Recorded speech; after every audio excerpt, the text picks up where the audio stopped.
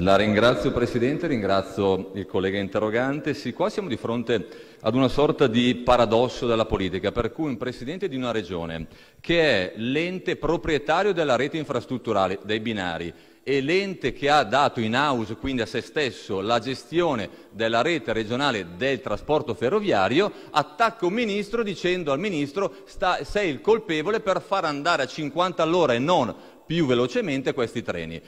Ok, ovviamente noi vogliamo altri, non, non vogliamo ai livelli di, del Presidente della Regione che falsamente attacca il Ministro per responsabilità, diciamolo chiaramente, che sono esclusivamente della Regione Campania ed esclusivamente del Presidente Vincenzo De Luca, che nonostante avesse i soldi nonostante avesse i finanziamenti, non è stato in grado di impegnarli ed oggi purtroppo quelle 100.000 persone, quei campani che quotidianamente, soprattutto per andare e tornare dal lavoro, utilizzano i treni regionali di Vincenzo De Luca, hanno quotidiani di servizi. Leggo articoli che parlano di inferno nel trasporto ferroviario. È esclusiva sua responsabilità non avendo utilizzato, non avendo ammodernato e non avendo impegnato i soldi, c'è un'agenzia prevista per legge che è l'agenzia, come da lei riferito, per il controllo e la sicurezza ferroviaria, che ha detto alla Regione, quindi al Presidente della Regione, siccome non hai impegnato i denari in investimenti, i livelli di sicurezza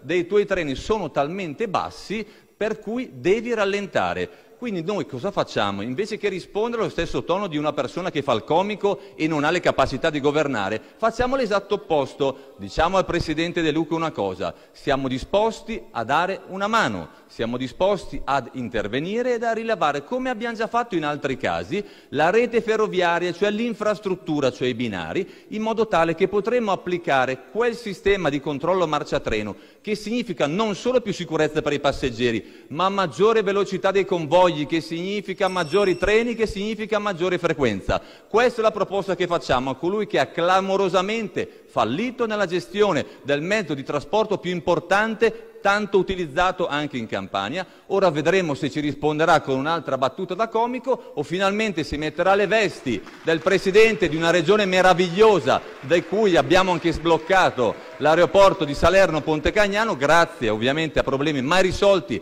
dai governi del suo stesso colore politico precedenti, vedremo se si vestirà invece degli abiti del presidente della regione e vorrà finalmente affrontare, se ne è capace, e risolvere, se ne è capace, i problemi dei suoi concittadini.